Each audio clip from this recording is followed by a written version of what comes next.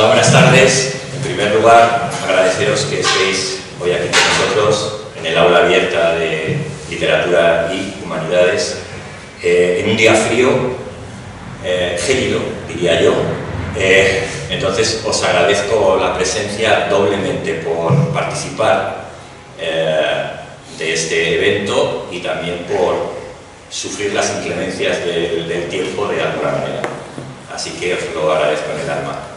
Y bueno, hoy cumpliríamos uh, la cuarta y última parte de lo que intenté de alguna manera eh, que fuera un acercamiento a la cultura hebraico-judía en nuestra península. Esta sería la última de las, de las charlas en este sentido. Eh, las que vienen a continuación van a ser distintas, por ejemplo, eh, la próxima obedecerá al, al haiku japonés y a todo lo que, lo que va alrededor de ello. Pero hoy eh, va sobre el mundo hebraico, semita, sobre Sefarad, y tiene una particularidad la charla de hoy. La charla de hoy va a tener una parte histórica y va a tener una parte filosófica. Eh, la parte filosófica obedece a que durante mi maestría eh, he estudiado filosofía, he dado clases durante 20 años de filosofía y he ido haciendo un pensamiento, eh, una reflexión que he ido solidificando de alguna manera y al final he tratado o intentado de entender cómo, cómo afecta nuestro entendimiento del mundo. Esta charla, que está basada en el libro de la Inquisición y la Cábala de Andrés Claro, que ya os conté algo en la anterior, eh, en la historia de Cervantes y, la Cábala. Bueno, cuando a, veces voy a decir Cábala y a veces Cábala. Cábala es en hebreo y Cábala en español, por lo cual, bueno, pues si me oís, eh, que un poco se me, se me vaya a Cábala, es por eso.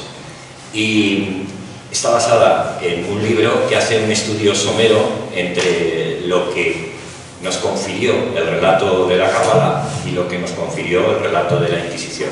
Por tanto, la primera parte será sobre una historia de Sefarad que tiene que ver más con una historia de enfrentamiento de relato y de persecuciones, de matanzas, de pogromos, de masacres y de un momento duro, Intentaré de alguna manera poder hacerlo porque voy leyendo partes del libro y luego la segunda mitad eh, va a ser una reflexión sobre cómo se configura un relato.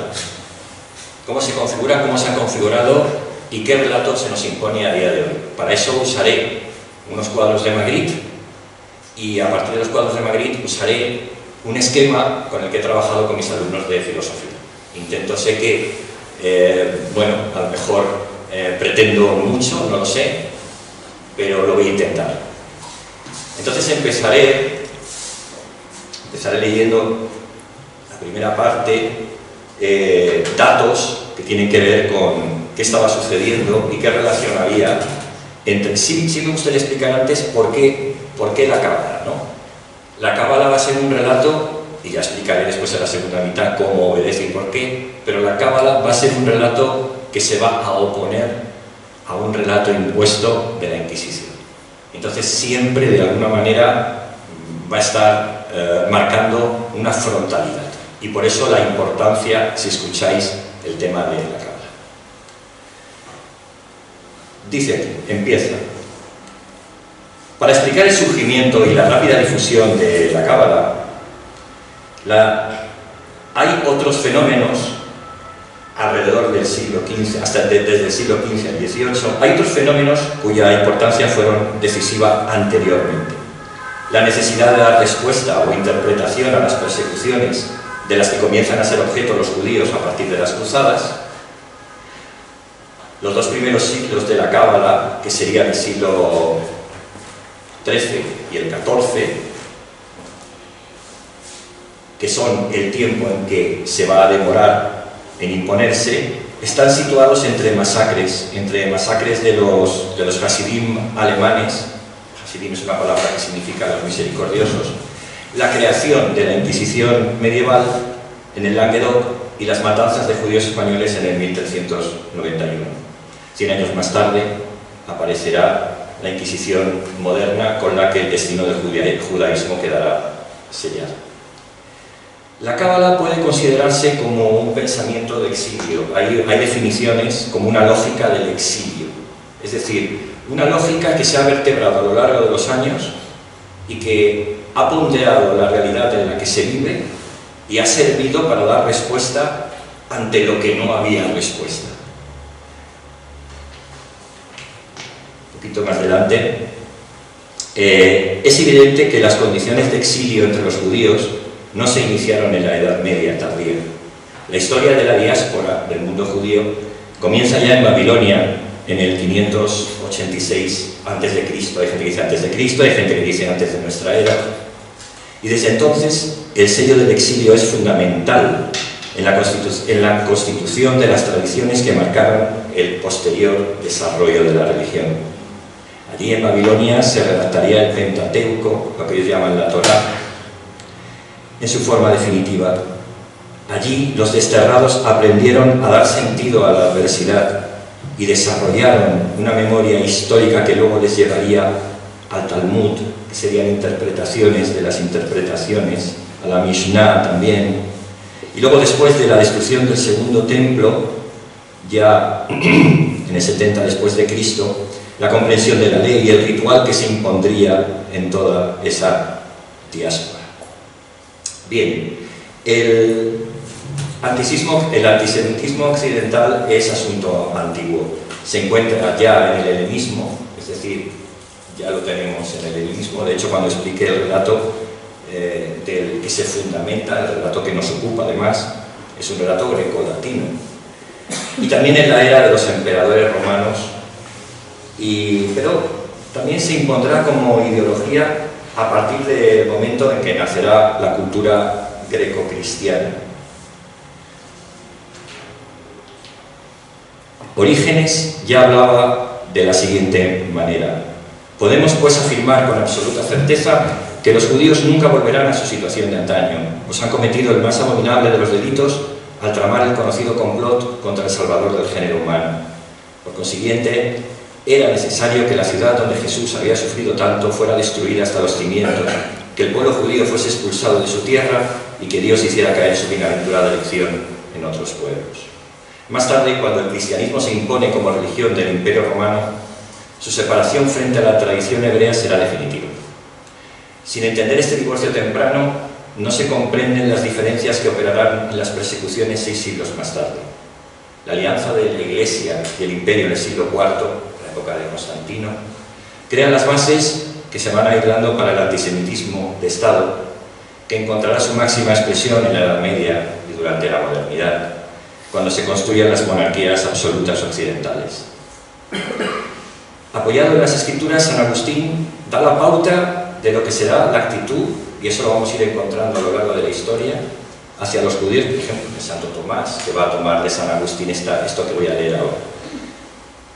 Durante gran parte de la Edad Media, hasta el comienzo de las cruzadas, y se va a repetir, ya digo, a lo largo de la historia, dirá San Agustín, no los mates, para que mi pueblo no olvide, hazlos andar vagabundos. Es decir, estaba prohibido matarlos, pues dan testimonio de la verdad del cristianismo, pero deben vagar y ser fugitivos sobre la tierra, vivir en un exilio perpetuo. En los siglos V y VI, las decisiones conciliares prohíben a los cristianos comer, casarse y unirse durante las fiestas con los hebreos. Sin embargo, estas prohibiciones eran claramente respetadas. Hablamos ya de, estábamos hablando del siglo V, año 400 y VI, 500 y pico.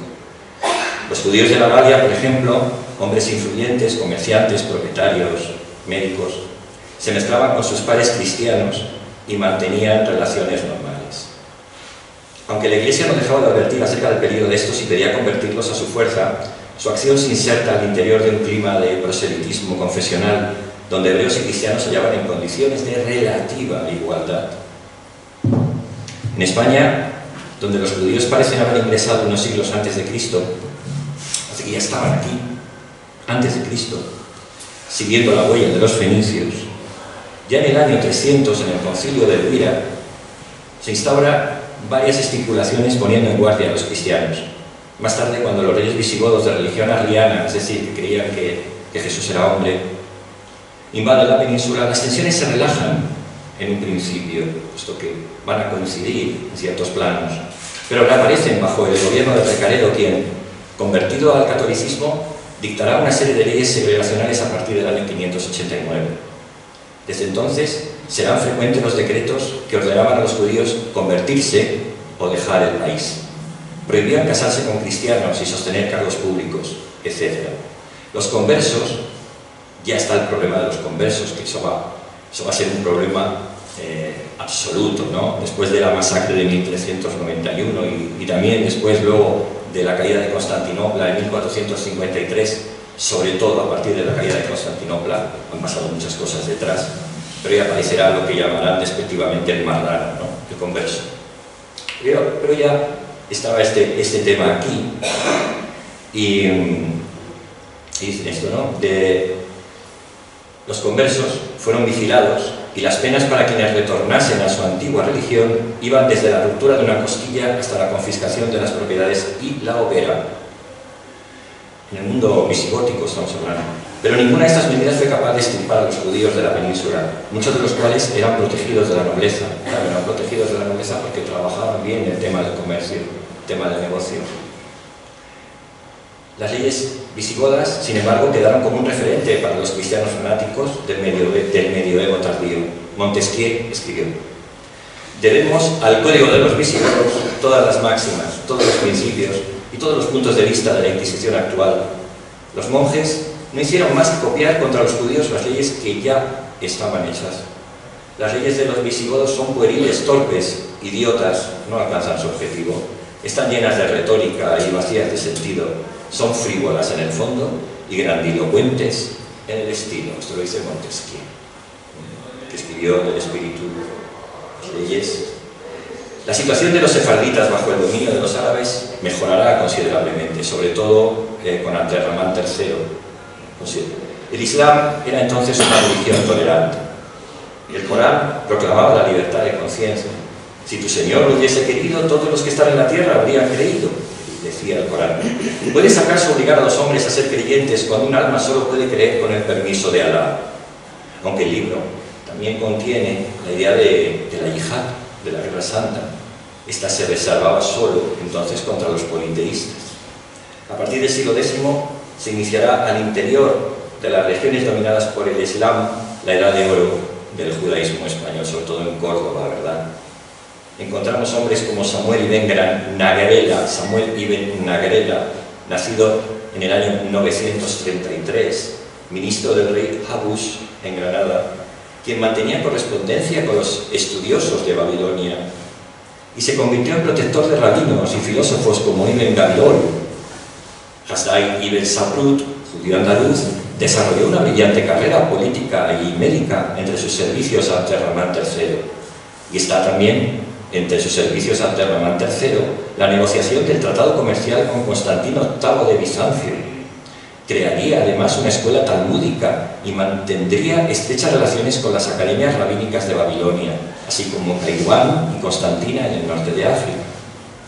Aparece también la figura en este tiempo donde, donde había una relativa paz, digo relativa, siempre digo relativa, no, era una paz total. ¿eh? Eh, aparece la figura de Yehuda Halevi, el príncipe de los poetas y tal vez el más antiguo de los poetas líricos españoles, quien advertía en versos a sus amigos filósofos, reflexiona, amigo mío, reflexiona y observa, evita las trampas y las emboscadas, no te dejes seducir por el saber griego que produce flores sin fruto. Los hebreos comienzan a instalarse también en las regiones del norte de España, donde gozan de tranquilidad y prosperidad en ese momento. Este apogeo durará todavía algún tiempo. Un apogeo que poner, ¿eh? cuidado entre, entre, mantillas, pero se vería, finalmente interrumpido por la influencia de la intolerancia creciente en el resto de Europa. Bueno, cuando llegan los almorávides y los almohades ya destrozan toda esa paz y, y, ya los judíos tienen que huir, tienen que huir al, al norte ¿eh? y, y preservarse del mundo árabe. La convivencia relativamente pacífica entre judíos y cristianos fuera de España continuó durante el Imperio Carolingio. Los ataques eran aislados y no constituían una política de Estado. El arzobispo Agobardo, 778-840, preocupado por la influencia de los infieles, pidió una serie de medidas en su contra. No fueron el, por el emperador. Vamos a asistir mucho a eso. Los reyes no estaban conformes con que les quitaran a personas que tenían un valor, sobre todo e-, económico y financiero. Eh, a partir de sus cinco epístolas antijudías escritas más tarde, cuando se hallaba exiliado por haber promovido una rebelión política, se puede concluir que, no tuvo sus, sus frutos. ¿no? Pero decía, por más benevolencia que pongamos en nuestro trato con ellos, no conseguiremos atraerlos a la pureza de nuestra fe espiritual. Al contrario, muchos de los nuestros, al compartir de buena gana los manjares del cuerpo, se dejan seducir también por el alimento del espíritu. A todo esto, un tal Amolón que seguía las palabras de Agobardo dirá que nuestros fieles se aparten de ellos, que ningún cristiano se preste a servirlos, ni en las ciudades ni en los pueblos, y que los judíos realicen sus trabajos con la ayuda de sus esclavos paganos. He prohibido probar sus alimentos y sus bebidas, y he publicado muchas órdenes severas a fin de arrancar el mal de raíz y de imitar el ejemplo de nuestro piadoso pastor, maestro y predecesor, Agobardo. En el concilio de Me 848, algunos obispos apoyaron a este talamodón y fueron implantadas sus recomendaciones para evitar la convivencia. Se ordenó además una modificación en la liturgia. Hasta entonces en las oraciones del Viernes Santo se pedía por catecúmenos judíos y paganos, en los mismos términos. Pero ahora se hacía una salvedad. Pro judaeis non flectant, ninguna genuflexión ante judíos. Se impone así la concepción del hebreo como una categoría aparte. No es un simple infiel. Sin embargo, a pesar de estas medidas, la propaganda antihebrea no tendrá todavía un tono popular, y menos nacional. Hasta el siglo XI, judíos y cristianos vivirán en un mestizaje. Raro, pero la situación favorable durante y después del Renacimiento carolingio hizo proliferar las colonias hebreas en Alemania y en Francia, donde la ciencia talmúdica llegará a su apogeo en el mismo momento en que decae la de Babilonia. Las persecuciones masivas no se iniciarán sino más tarde, en el momento en que la Iglesia se transforma en Estado y promulgue las cruzadas. El 27 de noviembre de 1096, el Papa Urbano II inicia en el concilio de Clermont-Ferrand la predicación de la primera cruzada. Las órdenes militares se armaron y los caballeros partieron rumbo al oriente para combatir a los infieles, lo que trajo una serie de desastres a los judíos alemanes y franceses. El cruzado era movido por un ideal religioso, se sentía el sucesor terrestre del ejército de arcángeles comandados por San Miguel en, torno al trono de Dios. Guardaban cuatro votos, de los cuales dos, el de pobreza y obediencia, eran compartidos por los monjes. El voto de castidad era reemplazado por una fidelidad conyugal. Bueno, esto en cuanto en cuanto a cómo se movían como cruzados. El año 1096, los cruzados camino a Oriente exterminaron a gran, gran cantidad de judíos en la Galia de camino, con la sola excepción de aquellos que se dejaban convertir. Pero fue en Alemania donde se produjeron las grandes matanzas. La alternativa ofrecida fue siempre la misma, bautismo o muerte. Esto se va a repetir durante toda la historia judaica. El cronista Salomón Bar Simeón relata de esta manera la catástrofe en Worms, Worms ciudad de surgimiento de, los Hasidim Askenaz. El día 25 del mes de Iyar, el terror se abatió sobre los que albergaban en el palacio del obispo. Los enemigos los mataron como a los primeros y los pasaron a cuchillo. Se fortalecían gracias al ejemplo de sus hermanos. Mataban y santificaban el nombre. Los enemigos los desvestían y los arrastraban sin respetar a nadie, salvo a los que aceptaron el bautismo. El número de los muertos fue 800 en esos días. Las matanzas continuaron en otras ciudades, Colonia, Metz, Bamberg, Maguncia. Eh, de la última dirá un cronista cristiano. Mataron a 700 que en vano intentaron defenderse contra fuerzas demasiado superiores. Las mujeres fueron igualmente exterminadas. Y los jóvenes, sin distinción de sexo, también fueron pasados a cuchillo. Horror causa contarlo. Bajo los golpes eh, hacia los de, los incircuncisos. Solo un pequeño número de judíos escapó a esta cruel matanza y algunos recibieron el bautismo más por temor a la muerte que por amor a la fe cristiana. Luego de estos acontecimientos hubo cierta paz, hasta la nueva cruzada decretada en 1146 por el Papa Eugenio III y Bernardo de Claraval. Ya sabéis que Bernardo Claraval, Bernardo Claraval fue el que, el que hizo la orden del Cister, Cistercienses, ¿no? Eh, la cual fue dirigida por los reyes de Francia y Alemania en persona. Aunque esta no provocó un movimiento popular comparable al de 1096, también hubo excesos contra los judíos. Fogosos monjes predicadores empeoraron la situación. El abad Pedro de Cluny sermoneaba en Francia.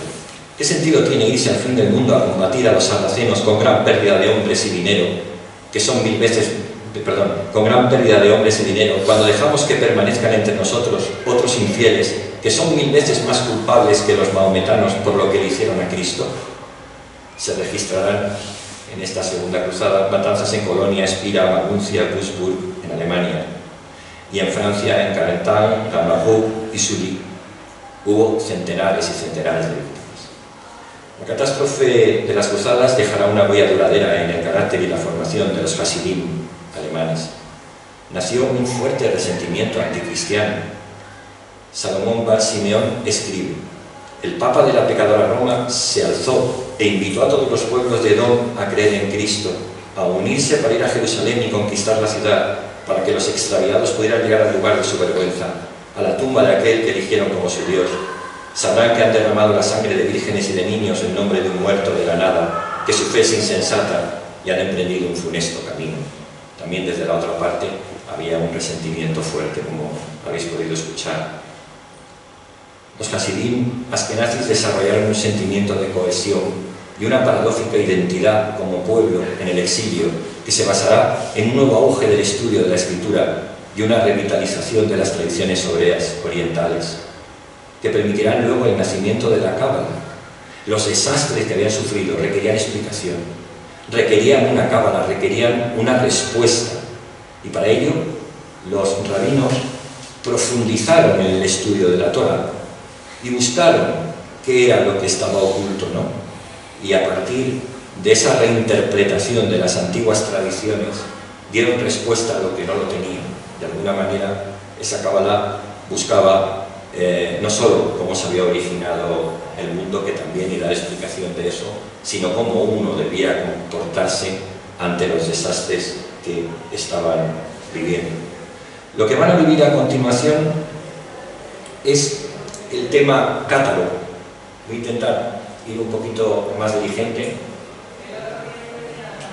el tema cátaro, el tema de vigencia, pues ellos van a estar, eh, sobre todo esa, esa, zona de la Provenza, eh, los, judíos franceses van a convivir con ellos, ¿no? Y el Papa Alejandro III había presidido el concilio de Tours en 1163, en el cual deja establecido que no se puede permanecer pasivo ante esa heterodoxia de los cátaros, hay un enfrentamiento, una búsqueda hacia el cátaro que va a salpicar, como no, al judío. Ya no se esperaría que los herejes fuesen denunciados, sino que sería inquisitio para saber dónde se halla. Y de ahí viene el nombre de Inquisición. A principio esta Inquisición no quería decir otra cosa que una novedad en el procedimiento jurídico. Se autorizaba a ciertos obispos a no esperar la acusación de una parte para iniciar el proceso, sino que podían investigar por iniciativa propia. En 1178 funcionará en Toulouse por designio del legado papal, un tribunal ya de inquisidores, podemos decir que ya en 1178 en Francia ya estaba operando. Aunque se había decretado que no se debía proceder contra los herejes sino para corregirlos, pronto se autorizó el uso de las armas para darles muerte o la imposición de penas como el destierro y la confiscación de bienes. Eh, bueno, explican cómo, cómo, era el proceso, pero no lo voy a, no lo voy a leer. Eh, en medio de estos sucesos los judíos serán nuevamente atacados. Se sabía que los caballeros franceses no les tenían ninguna simpatía. En 1182 los hebreos serán expulsados del reino de Francia. No será la primera vez, habrá otra segunda vez definitiva. Pero ya son expulsados, quiero decir que ya otros expulsaron a los judíos. Aunque luego se les permitirá retornar, vivieron constantemente amenazados por el clero, los caballeros y el pueblo y los galos. El Papa, por su parte, en bula del mismo año, 1208, había ratificado la doctrina agustiniana que os conté antes del vasallaje perpetuo. Y decía, aunque no se les debe matar, para que el pueblo cristiano no olvide la ley divina, deben ir errantes por la tierra hasta que su rostro se cura de vergüenza y busquen el nombre de Jesucristo nuestro Señor. Aunque se pedía que no se les matase, se les condenaba al exilio permanente y se ratificaba su condición de ciudadanos de segunda clase. Durante la cruzada, sin embargo, en algunos de los centros hebreos del Languedoc se produjeron masacres bajo la acusación de haber influido a los herejes cátaros, de que habían sido ellos para nada, veían, tenían una filosofía distinta, distinta un pensamiento distinto. Bueno, en Narbona y Toulouse surgirán los primeros centros cabalistas, es curioso que, en, los centros cátaros también eso nos llena de curiosidad, pero también se van a cabo al mismo tiempo grandes disputas y sangrientos episodios con el, mundo católico. Eh, bueno, un poquito más adelante. En realidad, desde el momento mismo de sus apariciones en, en Provenza, la Inquisición y la Cábala estarán destinadas a entrar en contacto en adelante la difusión de ambas seguirá la misma ruta. Pasarán de Provenza a Aragón y finalmente a toda España. Esta fue también la ruta de una intolerancia creciente hacia los sefarditas, la cual llevaría una paulatina aceptación de la cábala como ideología que permitía lidiar con este exilio. Pero otra cosa que sucedió también, fue, que fue importante y que ya acabó ya de desbaratarlo todo. Los judíos españoles habían vivido en un ambiente ciertamente un poco de tolerancia, que comenzó a transformarse poco a poco, poco a poco a partir de la Reconquista, debido a la Reconquista 1050-1230, la, Reconquista del enfrentamiento con el, mundo árabe, debido a la llegada masiva de monjes cluniacenses y caballeros franceses, los cuales venían a reformar la vida religiosa y ayudar a los combatientes contra el Islam. España, que había sido el lugar de la convivencia pacífica de las tres religiones, se transformaría en el curso de unos siglos en la nación más intolerante de Europa. Durante el periodo decisivo de la Reconquista, que dije 1050-1230, los hebreos todavía tenían privilegios algunos y gozaban de alguna relativa paz. Sus condiciones mejoraban, habían mejorado en la misma medida que las de los árabes se habían degradado, por supuesto. Jurídicamente, más o menos, tenían algunos derechos eh, que les igualaba con cristianos y comenzaron a ocupar cargos dejados por la clase dirigente islámica convirtiéndose además en ayuda indispensable para la monarquía como, como diplomáticos y financieros, financistas. La actitud de la Santa Sede ante este vertiginoso progreso de los sefarditas no se hizo esperar.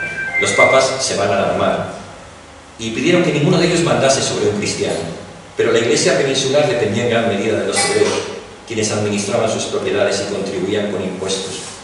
Por el momento el clero local estaba de su lado y se justificaba teológicamente no debían ser expulsados, decía, para poder convertirlos al cristianismo, tal como habían anunciado los profetas. Los sacerdotes extranjeros llegados a España, sin embargo, tenían otra idea. Estos que venían de Francia tenían otra idea. Tanto que se debía dar a los infieles, del trato, que, perdón, que se debía dar a los infieles. Lo mismo ocurría con los caballeros franceses, quienes, acompañados de monjes dominicos, provistos de una extensa literatura polémica contra aquellos, saquearon repetidas veces las juderías españolas, 1066, 1090, 1147, 1212. Aunque estos ataques constituían hechos menores y aislados, cada vez se produjeron, cada vez que se produjeron, el orden fue restablecido inmediatamente por el rey, por el mandato del rey. Luego, luego veremos que no. Eh, hay, un momento donde sí se le va a hacer caso al rey, pero hay otro momento, eh, el momento de Vicente Ferrer, por ejemplo, eh, en la disputa de Tortosa, como no hacen caso para nada al rey. Eh, el pueblo español se fue enterando poco a poco que las vidas de los judíos no eran estimadas en gran cosa al otro lado de los Pirineos. En el siglo XIII ya todos los sefarditas, exceptuando los del reino de Granada, habían pasado de la jurisdicción política árabe a la cristiana. Vivían en pequeñas ciudades fortificadas por lo general bajo la protección del rey, representando alrededor de un quinto de la población urbana. En la célebre Aljama de Toledo, la más grande de Castilla, se hallaban alrededor de 350 familias. En Aragón, las juderías más importantes estaban en Zaragoza y Barcelona, con alrededor de 200 familias cada una.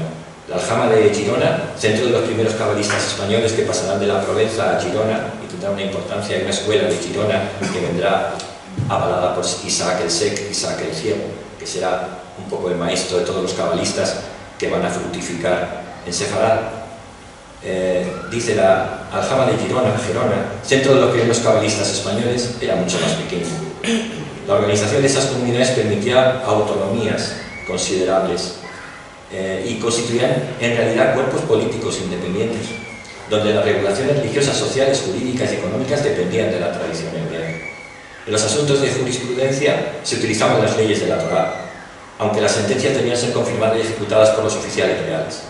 El órgano supremo interno era el Cajal, Cajal, que la palabra es comunidad, significa comunidad, en el que fueron jueces famosos estudiosos y te daban una serie de, de nombres y uno eh, eh, que tuvo un profesor que nosotros en Kabbalah hemos visto que es Abraham Abulafia, que tuvo una vida muy especial. Si la podéis mirar en, en, Google, es un sujeto extraordinario. Bueno, eh, quiso, quiso visitar al, al, Papa y convertirle al judaísmo. Le dijeron que estaba loco completamente y que le iban a matar. Entonces él, cuando llegó allí a Roma, dijo, si el Papa no me ve, ya me convirtieron en la, una cárcel, quizá para quitárselo en medio ya. Si el Papa no me ve, morirá en menos de tres días. Y dije, este está loco, ya rematado, pero el Papa murió en menos de tres días. Entonces los franciscanos que le tenían ahí en la cárcel tuvieron un poquito de miedo y dijeron, anda, vete ya fuera de aquí, que entonces vino a hacer su vida. Y fue uno de los grandes cabalistas, es, absolutamente formidable el tipo, pero sí es verdad que a lo mejor. Eh, la centuria de 1200 representará para las comunidades sefarditas como para la cultura medieval en general, un giro violento de los acontecimientos. Además del comienzo de las persecuciones populares, se verán enfrentados a cambios políticos realizados en breve tiempo, a la oposición de la aristocracia cortesana, a precarias condiciones económicas. Sentofa, que era de Tudela, escribe en el 1264, siglo XIII. Esta es una época de tensiones y peligros. Los problemas nos acosan y todo hombre está golpeado por la pobreza y debe vagar por tierra en busca de sustento. Estas precarias condiciones requerían explicación, se debía resistir, y para ello no servía la ideología helenizante de la pequeña aristocracia. A los judíos lo que les servía era la cábala. Bueno, eh, con Jaime I el conquistador, y voy ya un poco acabando un poco, aunque había muchas cosas que quería contar porque querría ir a la segunda parte, pero con Jaime I el conquistador, 1213-1276, los judíos gozarán de protección eh, y también eh, se les dará la valía de ser colonos encargados de ocupar nuevas tierras conquistadas, Mallorca, Cataluña, Valencia, Jaime I Conquistador y Jaime II y, eh, reyes de Aragón y reyes de Castilla fueron proclives a mantener el, judaísmo alrededor. ¿no? Entre los amigos del rey estaba el mismo Nachmanides, ¿no? y va a haber aquí una disputa con Nachmanides eh, donde Nachmanides se va a enfrentar, lo cuento un poco por encima, a, un converso llamado Paulus Cristianos. ¿Qué pasó? Se citaron a finales de julio en el año 1263, segunda mitad del siglo XIII, se citaron en el Palacio Real de Barcelona. Y se trataba de que eh, hubiera una disputa a ver quién tenía razón, si los judíos o los cristianos. El caso es que tal Nachmanides usó eh, la parte dialogante cabalista y los cristianos quedaron un poquito así. Y entonces eh, eso provocó que, aunque el rey le había dado eh, veracidad de que no se le iba a hacer nada al tal Nachmanides, que era un cabalista, que era muy querido por el pueblo judío, eh, al final tuvo que marcharse a la tierra de Palestina, porque si no, lo más probable es que perdiera la vida. pero aquello marcó un antes y un después, porque incluso en otra de las disputas, ya me tendría que ir muy alejado en otras de las disputas, un cristiano usó, usó eh, la cábala contra los judíos y ellos replicaron a su vez con otra, con otra forma de, explicación. Por lo cual, simplemente cuento esto para que, para que se vea la importancia que había. Con Alfonso X el Sabio, la primera parte, eh, hubo, hubo, una buena relación, eh, hubo, ya sabéis, los traductores, eh, y todo lo que fue en 1252-1284 y había los círculos toledanos eh, eh, los eruditos cristianos eran alumnos de cabalistas, por ejemplo, del propio Abraham Abulafia. Y Ramón Yul hacía libros donde creaba un ambiente de unión entre las tres religiones, ¿no? o sea que, bueno, se cumplió, lo que pasa que al final de la vida de Alfonso X se deja llevar por el ambiente que había sobre todo ya en Centro Europa y escribe lo siguiente en las cantigas de Santa María, Alfonso X Oyemos decir que en algunos lugares los judíos cristianos desfacen el día del Viernes Santo remembranza de la pasión de nuestro Señor Jesucristo en manera de escarnio, furtando los niños, niños, exponiéndolos en la cruz, o haciendo imágenes de cera crucificándolas cuando los niños no pueden haber. En fin, eh, ya empieza el tema de que, de que matan niños, ya empieza el tema de que envenenan, bueno, en la peste negra, 1348, en Saboya, eh, nace la leyenda de que han sido los judíos, entonces van a por ellos y bajo tortura, ellos dicen que sí, que han sido bajo tortura, y entonces, eh, bueno, pues se crea esa, esa visión del judío como una especie de demonio que va a perdurar. Eh, os contaría muchas más cosas, pero creo que sería el, el momento, porque en definitiva creo que cumplo la función que tenía un poco de poner un poco cómo estaban las cosas, cuál era el, el statu quo. Eh, bueno, en 1391, como os dije, va a haber una masacre total. Luego, por ejemplo, en 1414, eh, 1413-14 va a existir la disputa de Tortosa, que también es importante, eh, y luego lo que contaba con la caída de Constantinopla. Y luego, eh, cuando los reyes católicos unen ya en 1469 sus desposorios, es decir, Castilla y Aragón, eh, van a tener, se les va a requerir a los reyes que pongan en cuestión el tema de los judíos y que se le dé ya una solución total. ¿eh? Y la Inquisición moderna que había aparecido en el 1478 se va a poner eh, al, mando de, los dominicos y, como estaba, y va, va a tener una, una fuerza y una resolución, tanto que en 1492 ya todos sabemos, bueno, hay alguna cosa que yo he escuchado, que muchos judíos que van a, que van a estar en la pinta, la niña de Santa María, justamente es muy curioso que se cumplía el plazo en el momento de salida. Algunos estaban en el barco y esperando que, que no pasara el día porque había una gran cantidad de judíos y entonces en el momento en que partió era el día que se cumplía, ¿no? los meses, creo eran tres meses que habían dejado para que cogieran sus cosas, sus amalorios y partieran hacia otras tierras. Hubo, hubo, judíos que se fueron a muchos sitios, unos a Turquía, otros, la zona de Portugal, la, zona del norte de África, en fin, eh, sobre todo la zona de Portugal que todavía eh, no tenía esa inquisición, pero que la tendrá después. La tendrá después por un pacto eh, con Felipe II y entonces, bueno, pues gente como Espinosa pues, tiene que partir, llamarán marranos, ¿verdad? Y, y esa es una realidad palmaria donde hay un enfrentamiento de relato. Pero entonces, y aquí llega ya la, la siguiente parte, eh, ahora sí, José, yo no sé si me tengo que levantar yo no, no, apago la luz porque tú estás ahí metido. El de la derecha.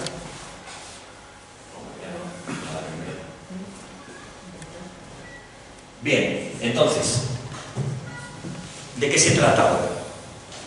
Se trata de que entendamos algo. Esta es la parte un poco filosófica. un poco de agua. Em, se trata de que, de que pongamos en consideración dos hechos. El primero es que hay un relato que se ha fundamentado y ese relato viene dado por, por una experiencia grecolatina, por un pensamiento grecolatino que ha fundamentado nuestra psique, nuestra cultura, ¿eh? Eh, la forma en que tenemos que, de operar y de ver el mundo.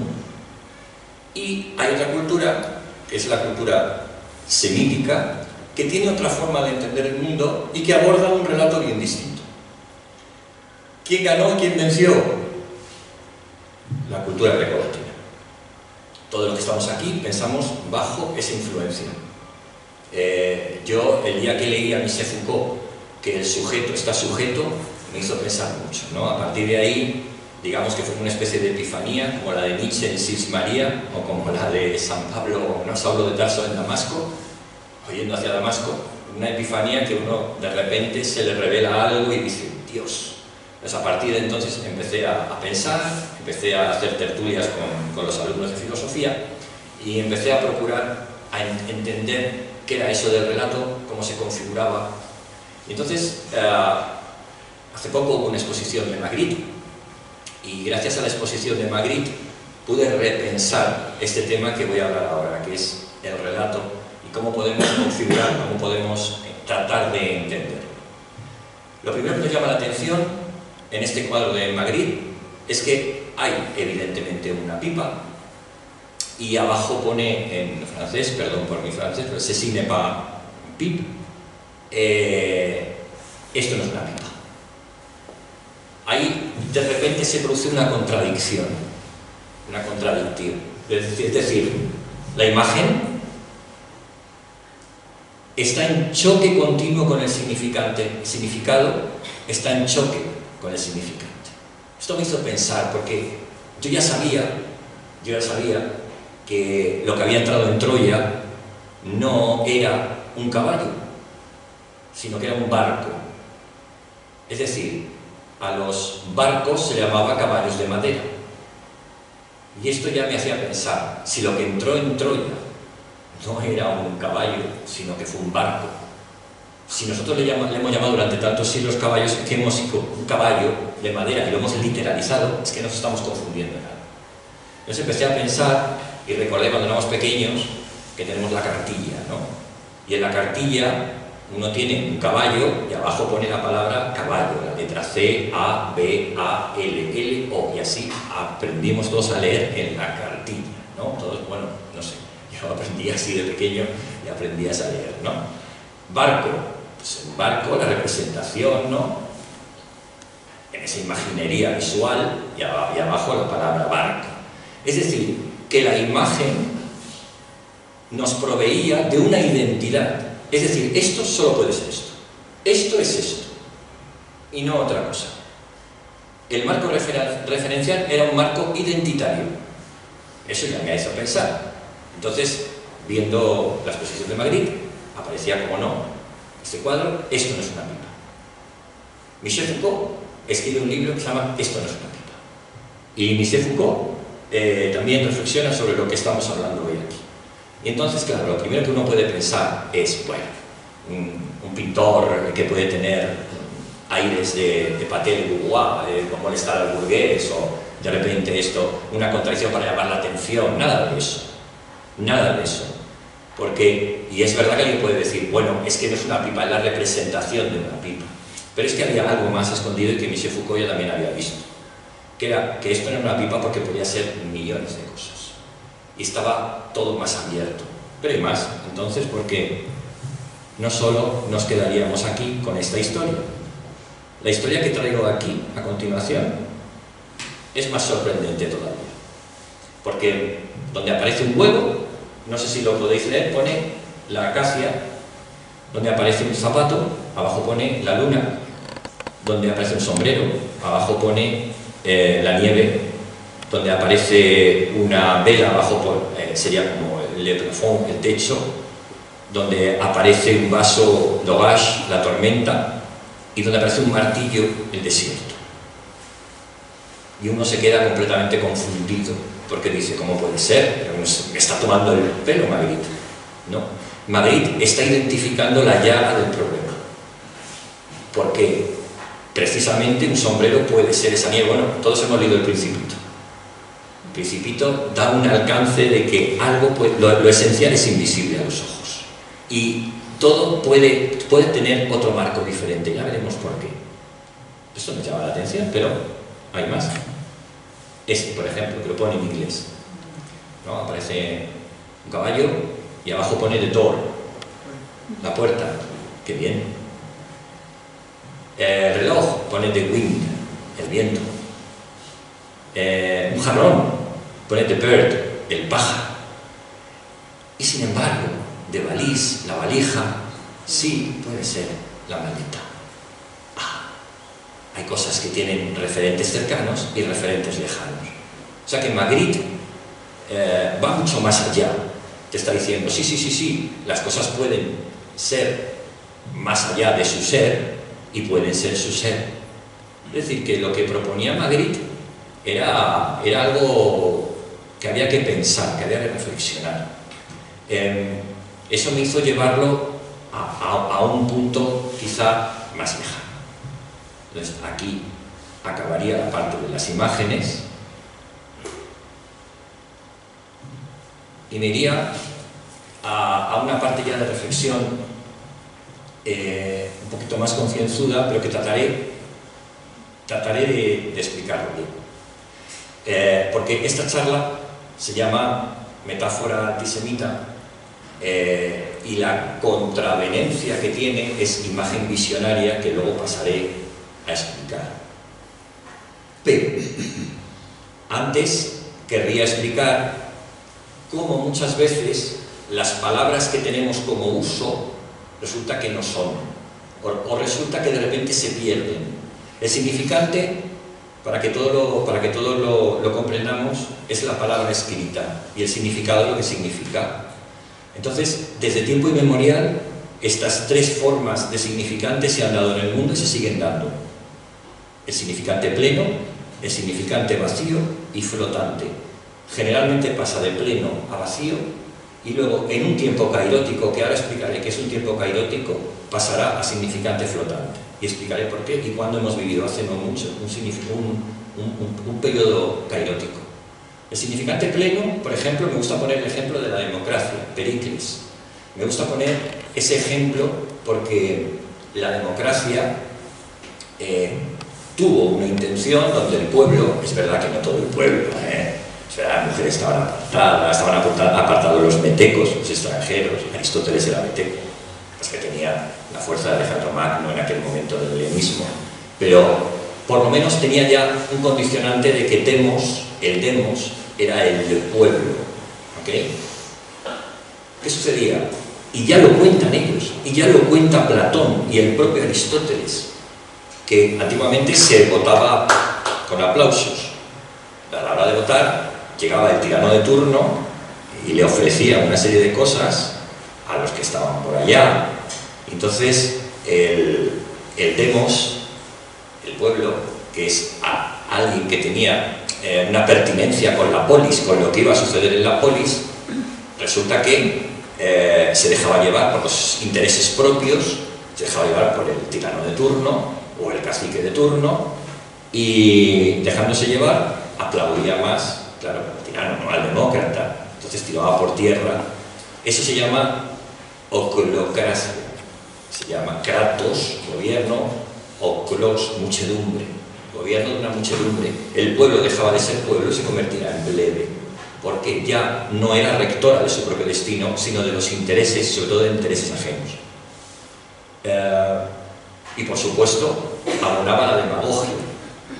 Pero si os fijáis bien, aunque me, Llevaría mucho tiempo explicarlo, no me voy a meter mucho en eso, pero eh, demagogia es un significante que se ha vaciado con el tiempo y se ha igualado a populismo y popularismo que no tienen nada que ver. Sin embargo, hay muchos significantes que tienen un significante pleno y se les vacía desde el poder. Esa es también una, una fuerza de construcción, es una fuerza de relato. Y entonces, el populismo y popularismo que ya diré más o menos cómo se, cómo se entienden en unos esquemas que voy a pasar a continuación, eh, no tienen que ver con demagogia. Eso sería un significante vacío. ¿Qué vacía el significante pleno que tiene la palabra? Eso nos pasa con muchas palabras, ¿eh? con muchas. Yo las escucho y voy eliminando, digo, aquí han vaciado otra palabra. Se han, han conseguido vaciar esta. ¿eh? La de populismo me hace mucha gracia porque, porque han conseguido vaciarlo para que creamos que significa demagogia y no tiene nada que ver. Es cuando el pueblo se levanta en, contra de unos caciques, pasa que lo hacen desde un punto o desde otro. Eh, y luego está el significante flotante, que significa que de repente el tiempo se detiene y nos da una oportunidad. Frente al cronos, un tiempo lineal donde han vencido tanto el, eh, sobre todo el significante vacío, de repente ocurre algo en el tiempo donde podemos meterle mano a lo que está instituido de una manera férrea y que es intocable. Y eso es el tiempo cairótico. De eso hablaba Carl Schmitt. Carl Schmitt era un jurisconsulto alemán del principio del siglo, vivió mucho hasta los 80, y este tipo eh, hablaba del tiempo cairótico y que algunas veces se daba la oportunidad, pero él era un tanto pesimista y él decía que entre el, mundo del escatón, que era el, mundo mesiánico que se promete como del más allá, y el mundo del catecon, que es eh, las posibilidades. Eh, el Estado siempre era más fuerte y, tumbaba toda esperanza mesiánica de cambio, de cambio en el relato. Por eso, San Juan Inés de la Cruz dirá, cabeza que será yo de sabiduría, no espere otra corona que de espinas. Cabeza que será yo de sabiduría, no espere otra corona que de espinas. Y ahí nos podemos remitir a Espartaco, nos podemos remitir a Yeshua Jesús, nos podemos remitir a Martin Luther King, nos podemos remitir a tanta gente, ¿no? Cabeza que será de sabiduría, no espere otra corona que de espinas. Sobre todo si se enfrenta a ese poder establecido. Ahora me, metería en el esquema y trataría de explicarlo, voy a tratar de explicarlo de una manera como este esquema ha supervivido durante tantos siglos y por qué. Pero antes me gustaría explicar algo porque no, no, no querría dejarlo. La charla se llama Metáfora antisemita, por tanto, tengo que dilucidar en algún punto eh, qué es una metáfora y qué es una imagen visionaria. ¿Por qué le doy el patrón de metáfora al mundo grecolatino y por qué le doy la imagen visionaria al mundo semita? ¿Qué es una metáfora en realidad? Una, una metáfora es aquello que genera una identidad entre lo real y lo imaginario. Pongamos por caso que yo digo dientes como perlas una metáfora muy primaria, muy que los poetas no la harían porque se ruborizarían, ya sería muy manida, ¿no? Pero para que lo entendamos, ¿no? Si yo digo perlas, igual, o dientes, perdón, es el término real, ¿verdad? Perlas, las perlas no están. Una cosa está en presencia, tus dientes, y otra está en ausencia, es el imaginario. Esos son las perlas, que no están, pero yo las comparo, y las comparo por identidad. Es verdad que luego hay metáforas puras que no están ahí, en la presencia de lo dicho. Por ejemplo, cuando Lorca dice, eh, hablando de, a, eh, a, ver si me sale ahora, si lo puedo explicar bien, eh, la luna de pergamino, su luna de pergamino preciosa tocando viene. Ahí el referente real no está, solo está el imaginario, eso se llama metáfora pura. Pero igual, hace un, hace un juego de identidad, luna de pergamino, es el tambor, luna de pergamino. Bueno, el gran eh, Ramón Gómez de la Serna en sus breverías dice que la luna es el ojo de buey del barco de la noche. Pero ahí está jugando ya unas dimensiones distintas. Ya veremos por qué. Pero bueno, metáforas hay hasta auditivas, porque Lorca nos dirá el lisocón de la nieve, refiriéndose a la espuma cuando se desliza sobre la tierra. El lisocón de la tierra, de la, de la, el de la nieve, nieve espuma, y el, el ruido que hace la espuma, la ola, cuando llega a la. ¿Qué hay en juego de una metáfora? El juego que hay en una metáfora es identidad y diferencia. Lo identitario marca la unión y la diferencia marca la separación. Sin embargo, la imagen visionaria no va por ahí. La imagen visionaria lo que hace es marcar uniones, marcar hilvanes que aparentemente no están. Es decir, eh, ¿cómo puede haber un hilván? Ejemplo, por ejemplo, eh, por ejemplo, en que el vino sea el secreto o el arcoíris un mensaje.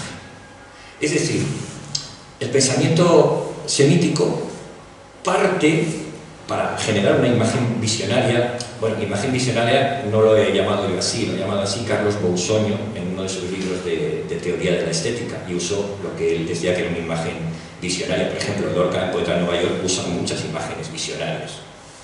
Imagen visionaria es cuando una cosa que se entrelaza, eh, se entrelaza con otra aparentemente no está entrelazada. Es casi, es casi, es casi como si quisiéramos hacer eh, una ecuación cuántica, ¿no? Hay algo que parece que no está y tenemos que descubrir. Pero ¿cuál era el pensamiento?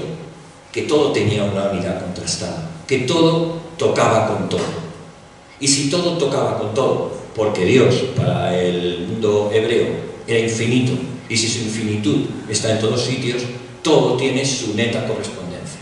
Con lo cual la imagen visionaria era mucho más abierta y estaba basada en la semejanza y la distinción, cosa que rompe directamente con una ecuación que te promueve la identidad y la diferencia. Entonces, para tratar de entender cómo se configuraba un relato, lo que hice fue distinguir tres conciencias. Tres conciencias que yo le llamo, lo voy a decir un poco de pasada, yo le llamo la conciencia fáustica a la conciencia cultural.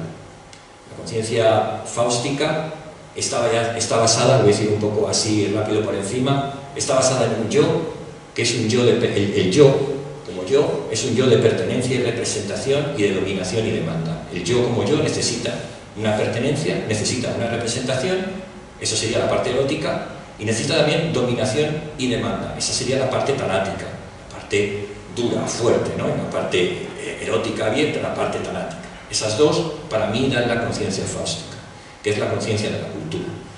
Y para configurar el relato se ejecuta de tres maneras. La conciencia jerárquico-cesalista, la conciencia nihilista ambigua y la conciencia crítica mesiánica. Digamos que los dos primeros operan en el mismo campo, aunque no, no lo sabe, el de la conciencia nihilista, y ahora explicaré el porqué. La conciencia jerárquico-cesalista es la que, la que ha vencido durante todo este tiempo, la que ha, ha mantenido ese relato ecolatino. Y como a mí me, me, gusta mucho hablar del tema de la otredad, y yo quería hacer un distingo en dónde está la otredad en, en, esta, en esta conciencia, yo a esta conciencia la llamo alteridad, es decir, que la otredad, la función del otro, está consignada. ¿Bajo qué? Bajo la identidad y la diferencia. O eres como yo o eres distinto a mí. Y si eres, y si, y si eres distinto a mí y no te puedo, eh, no te puedo sojuzgar, no te puedo tener a mi, eh, a mi poder, eh, serás devastado, serás quitado del medio, porque no cumples mi, mi relato. ¿no? Entonces, este tipo de relato está basado en eso, en identidad y diferencia. ¿En qué, estará basado entonces la conciencia crítica mesiánica? Estará basado en el gusto por la semejanza y distinción. Es decir, tú eres mi semejante, no eres igual a mí, pero eres mi semejante, eres mi otra edad. La otra edad está antes que el yo, y el yo fundamenta el ego, pero antes está la otra edad. Y ese, ese sujeto entiende que tú eres semejante, eres semejante, pero también eres distinto. Es decir, puede ser uh, del pensamiento que quieras, uh, de la vocación que quieras, de, de, lo que tú pienses, ¿no? Es decir, hay una mayor apertura. Por eso enlaza con la imagen visionaria que es holística. Entonces, yo le llamo otredad a la conciencia crítica mesiánica y le llamo conciencia a la conciencia jerárquico cesarista alteridad. Es otro tipo de otredad que está consignada si tú estás bajo la férula de mi criterio. Eh, la conciencia nihilista ambigua es una conciencia que se basa sobre todo, es el, no sabe, no contesta, el a mí me da igual todo, ¿no? en fin, tiene, tiene una parte eh, casi cínica, ¿no? De, de decir, bueno, a mí la vida me da igual, me, me importa realmente, realmente poco y, y, yo, bueno, lo que quiero ahí es un poco, bueno, pues eh, vivir mi vida, lo que pasa que de alguna manera también se banaliza un poco todos los tipos de respuesta que pueda acometer. Eh, en esa parte jerárquico-cesarista, yo eh, las, he, las he basado, y lo contaré un poco por encima, en antirrelato, pseudo-relato sería el de la ambigua y contrarrelato sería el de la conciencia mesiánico eh, crítica.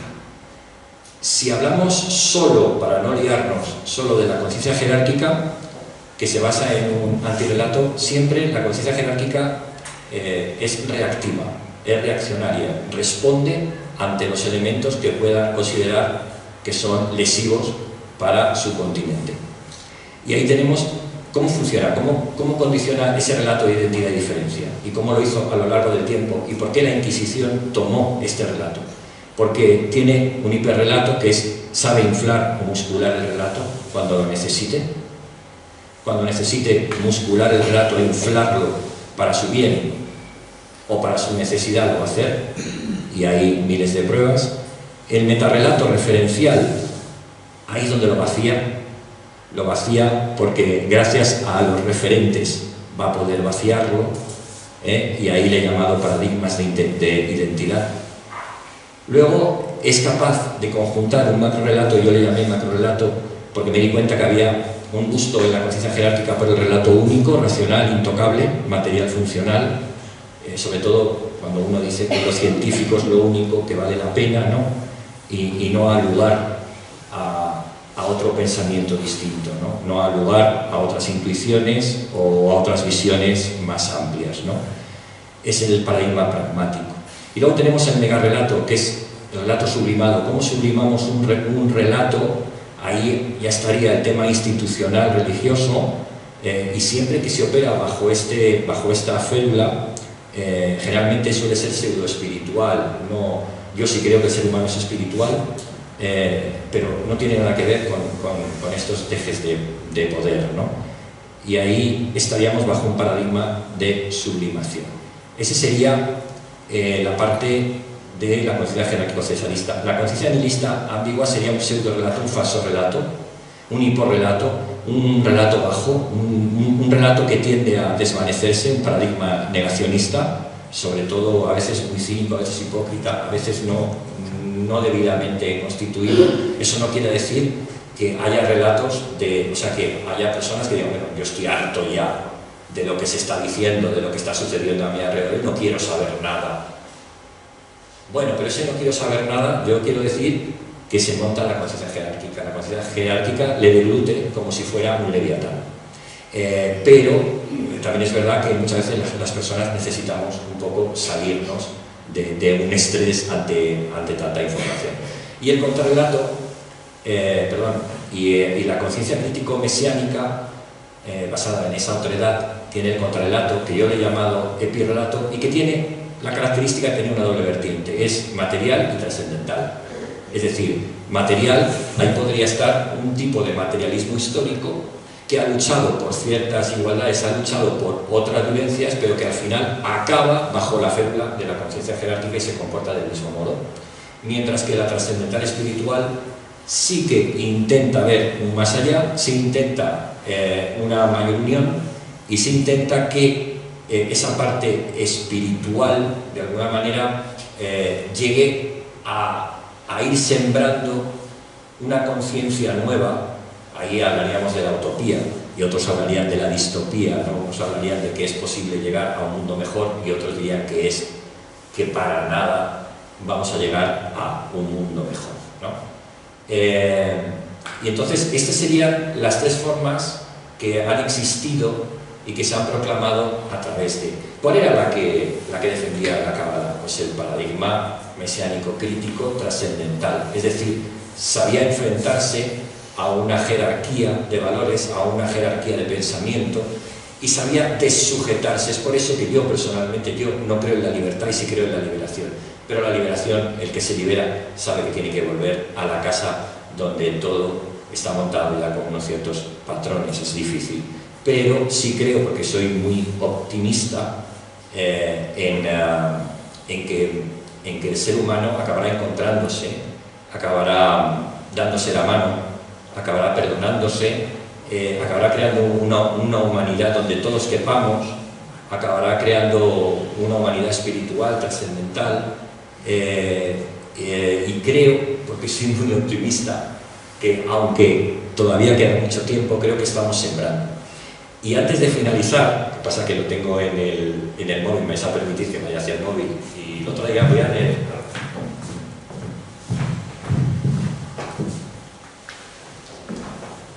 Esto ha parecido metiera entre bambalinas, ¿no? Ahí. Bueno, creo que lo tengo aquí bien. Aquí está. Aquí está. Bueno, a algunos les va a sorprender, pero no tanto. Explicaré por qué. Mateo 5, 3, 12.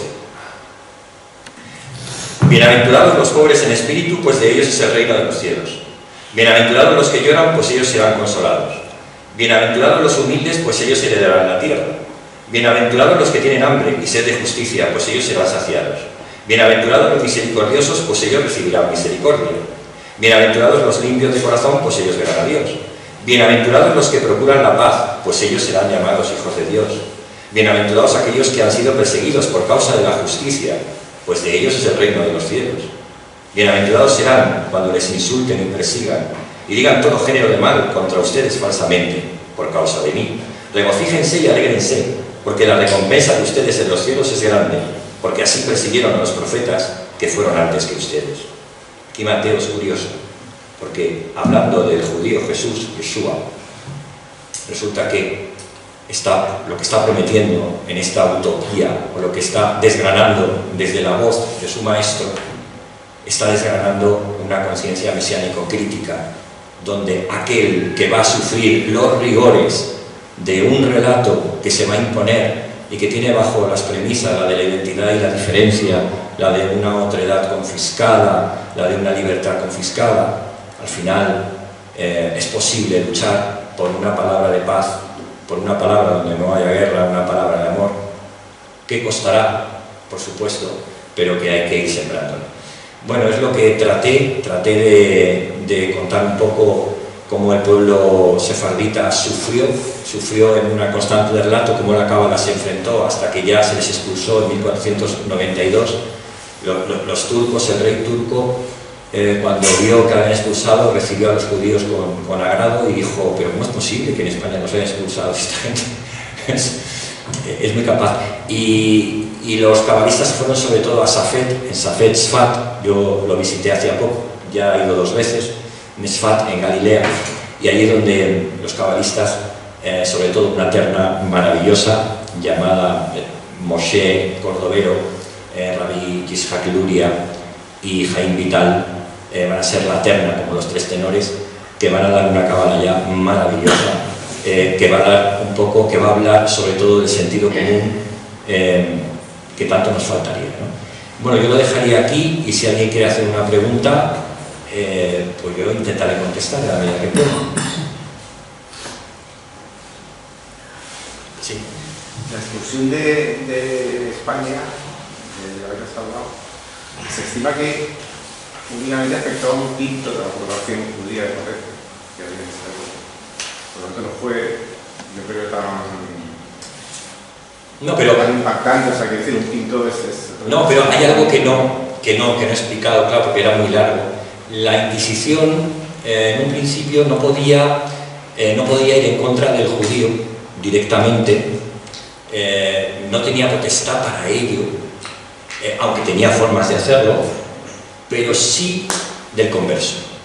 Es decir, la gran problemática que se da en el siglo XV, camino de lo que va a producirse, eso es con el, con el converso, que ellos llamaban el marrano. ¿no? ¿Por qué? porque el converso había admitido bajo bautismo muerte, y muchos de ellos por no querer perder eh, todo eso, y, y, además hay que pensar en todo lo que sucedió después, porque va a existir un criptojudaísmo, porque muchos de esos conversos van a seguir celebrando sus rituales, pero luego en la literatura que nos van a dar van a seguir teniendo su impronta, una cultura que se va a sumar a la cristiana y nos va a dar por eso hablaba yo de Santa Teresa de Jesús, y hablaba de Fray Luis de León, y hablaba de San Juan de la Cruz, y hablaba de todos estos, porque todos estos van a tener una impronta anterior, eh, conversa, antes, y nos van a dar una literatura exquisita, una literatura abierta que muchas veces está confrontando con el, con el poder omnímodo.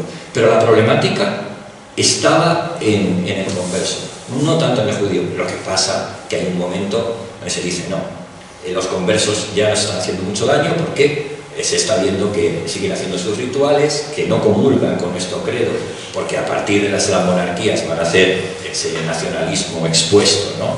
donde hay que, hay que regirse bajo unas normas donde todos tienen que, eh, que claudicar.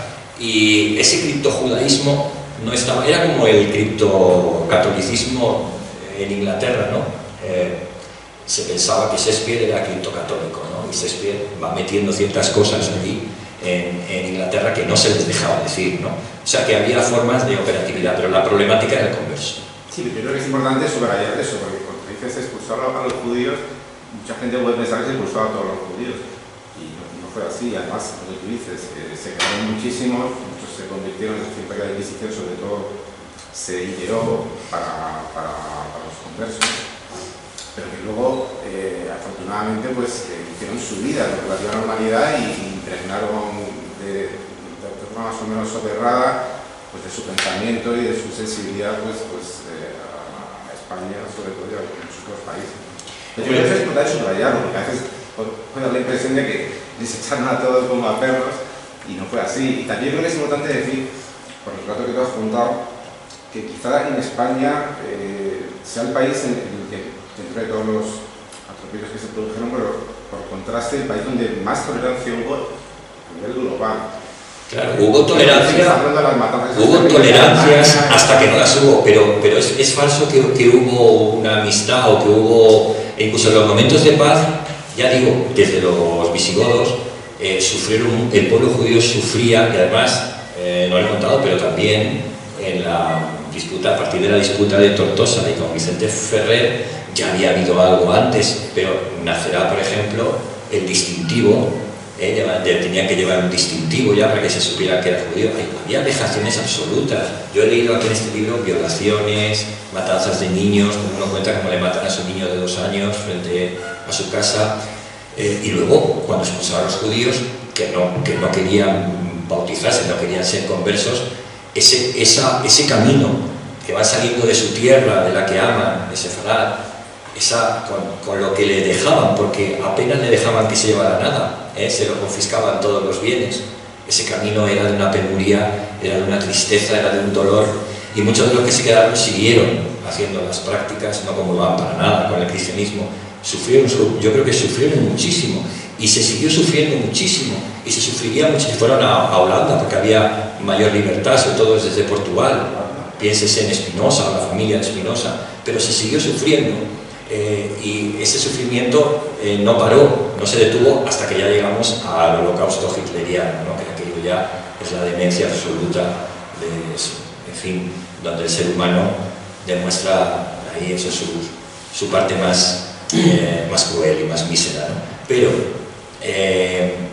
ese sufrimiento del pueblo judío, yo sí quería destacar que existe, o sea, que no es, no, no, no se fueron alegres, ellos amaban Sefarad, amaban España, habían estado siglos y siglos y siglos antes que, muchos otros, eh, amaban sus negocios, amaban eh, la gente que les rodeaba, eran amigos de los reyes muchas veces, tenían connivencia con, con la parte real, pero había muchos intereses y había que quitar de alguna manera al que, al que tenía una buena... Muchas, muchas de las de las expulsiones se daban cuando se empobrecía mediante una guerra y había que quedarse con el dinero que habían amasado los, los judíos, ¿no? O sea, que se daba... Pero sí sufrían, ¿eh? Yo ahí tengo... Que no sufrían, solo estoy diciendo que me parece que hay una diferencia sustancial entre el trato en general que recibieron en España con el que recibieron en el norte de Europa, has hablado de esas matanzas terribles, la mina cruzada en Alemania y tal, o sea, allí te pasaban el cuchillo y aquí pues te un poco peor. Lo que pasa es que no he continuado, pero hay aquí matanzas en, Sevilla, eh, bueno, será, en el siglo XIV será una serie de matanzas eh, que, que, van a ser, que empiezan en Sevilla y que al final eh, se detienen un poco en Gerona y luego se puede un poco medio arreglar, pero vamos, se exterminó judíos todo lo que se pudo. Es decir, es decir, que había un relato que se imponía de poder que iba eh, mermando cualquier tipo de respuesta. Y encontraron, bajo un subterfugio secreto, encontraron cómo dar una respuesta bajo la Kabbalah, que era una respuesta que iba más allá, que propendía a una imagen visionaria del mundo y que propendía a, una expansión del ser humano como liberación. Es decir, aquel muchas veces que se exilia se libera, eh, se libera de la opresión y entonces puede hacer su, su tierra prometida. ¿no? pero al final tuvieron que buscar otras tierras y Chano siempre, el sefardita siempre echó de menos España, siempre siguió cantando sus canciones de, de, Sefardita. Y, y, yo, si hubiera podido ir, pues hubiera puesto una canción sefardita, hay muchas que son bellísimas. Y luego lo de terminar con las bienaventuranzas es porque creo que en esas bienaventuranzas hay, hay, hay también ese, ese secreto de, de esa eh, esa conciencia nueva que el hombre en algún, en algún tiempo pues, eh, conseguirá de alguna manera. ¿no? En relatos a lo que está a la izquierda, ¿se puede entender que te refieres a la cultura occidental? La cultura occidental se va a basar en la conciencia jerárquica, porque es la grecolatina, eh, y tiene más, más y, la, y la ambigua, eh, que, en la que uno no, no, no se enfrenta o, o, digamos, no se plantea siquiera una suerte de liberación ante un tipo de opresión que fuera. Para el, el, el, el, yo creo que sí. tienes que mencionar el cristianismo. O sea, el cristianismo es, es la columna de, de, de, lo que tú llamas el metarrelato. El cristianismo tiene un componente trascendental espiritual innegable.